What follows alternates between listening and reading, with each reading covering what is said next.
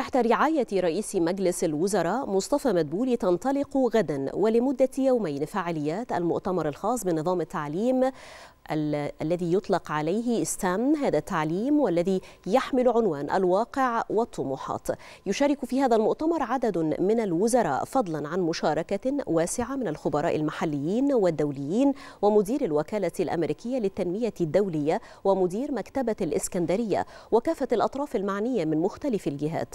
يهدف المؤتمر لتسليط الضوء على نموذج التعليم المصري ستام الذي يعد نموذجا قائما على البحث العلمي والتعلم من خلال المشروعات وتنمية مهارات التفكير العليا وحل المشكلات والتحديات الكبرى خاصة في مجالات العلوم والرياضيات والهندسة والتكنولوجيا.